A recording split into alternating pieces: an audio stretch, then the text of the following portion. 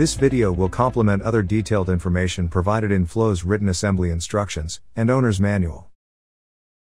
Each wheel will take approximately 5 minutes to assemble and install with one person. If you are working on a V2602 lift, install one set of wheels on the outside of the lift, and install the other set on the inside of the lift.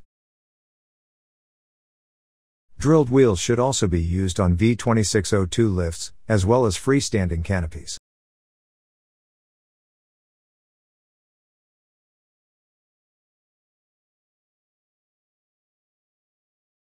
Place the half of the clamp assembly that contains the spindle onto the frame beam, with the spindle facing inward as shown.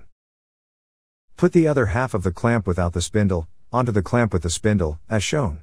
The two halves are engineered to fit together. It may be necessary to push down on the spindle to get it into the other half of the clamp. Before going any further with the installation, ensure that the edge of the clamp assembly is 17 inches from the corner post. Insert the half inch bolt into the clamp assembly and secure it with the supplied nylock nut.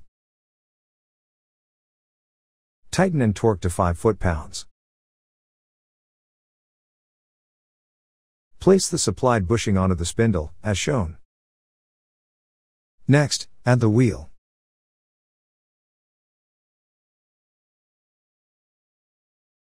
Last, slide the washer onto the spindle, and secure the assembly with the included spring clip, by inserting the ends of the clip into the holes in the spindle, as shown.